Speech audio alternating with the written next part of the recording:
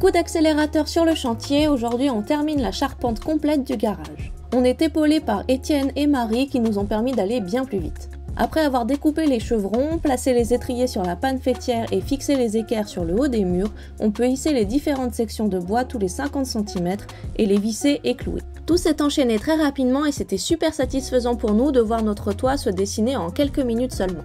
Cette étape très simple a permis de terminer complètement l'ossature bois du bâtiment tout en renforçant l'intégralité de la structure. Ensuite, nous avons pu installer les derniers panneaux OSB sur la façade que nous avons découpés à la scie sabre au niveau des pignons.